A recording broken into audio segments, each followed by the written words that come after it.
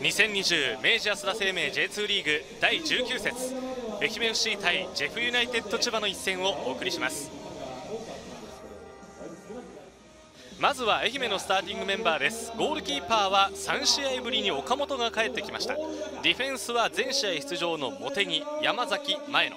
そして西岡大志渡辺田中長沼そして守谷と横谷センターフォワードは庭志音です対するジェフユナイテッド千葉です。ゴールキーパーは新井ディフェンスは本村チャンミンギュ鳥海そして安田。矢田と三木がいて小島為田山下。そして愛媛出身でもあります川又。ロングボールを蹴った後山下が競り合って為田が追いついた、為田残しました。中央には川又がいる。為田が持っていく。為田から川又のシュートだ。決めた千葉先生手元の時計で3分。決めたのは背番号44川田今シーズンこれが3点目。7試合ぶりのゴールになります川又ここですよね。ここでちょっと軽いですよね、この1対1がね、印象がね、はい、ただこれ、川又の動き見てください、前のうまく背中を取りながらプレーしてますよね。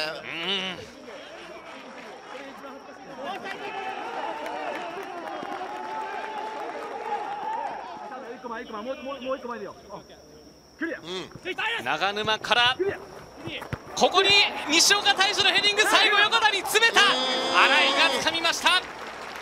うまくデザインされたプレーだったんですけどね。はい。決定機になりましたが最後ヘディングの勢いがありませんでした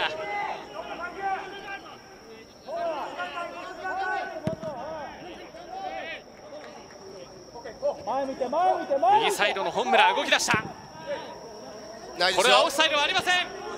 その本村抑えた。本村仕掛けて長沼の対応。そして今のプレーは PK だ。長沼と本村の1対1勝ったのは本村でした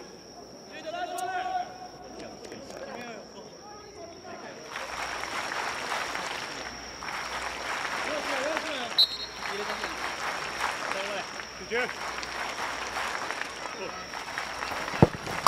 り決めました。川又2対0千葉がリードを広げます2点目もこの人。川又健吾。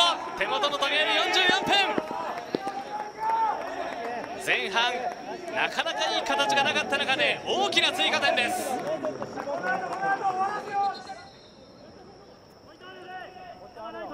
今日2点を決めています川又。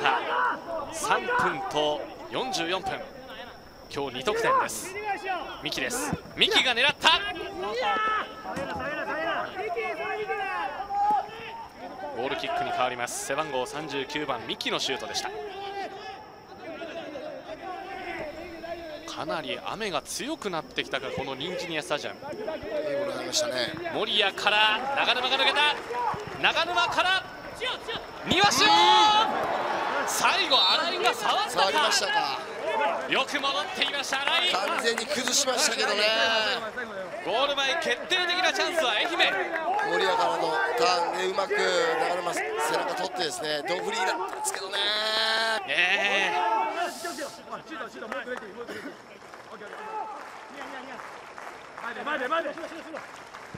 クリア。をした。後愛媛が拾う。森谷角度を変えて。面白い。山瀬だ。こぼれた後庭の前だったんですが。もう一人もう詰めていればというシーンです。続いています愛媛。まあサッカーにねたられはないですからただここアイデアありましたね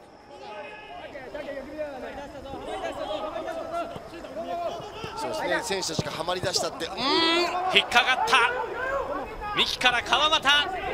川又が上がりを待って船山だ。船山がシュートを打った。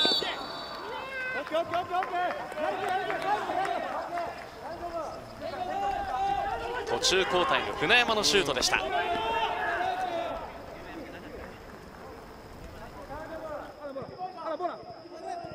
試合はアディショナルタイムに入りました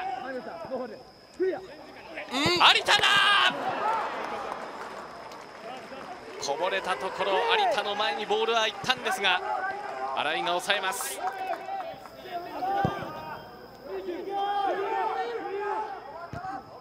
ここもしっかりと長いボールを蹴らせてクリア。この間にブロックを作ってこのパスはミスになりました愛媛。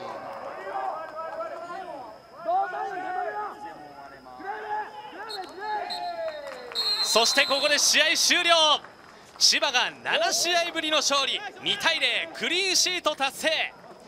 苦しい苦しい中で大きなきっかけになるそんな勝ち点3を愛媛でゲットしています。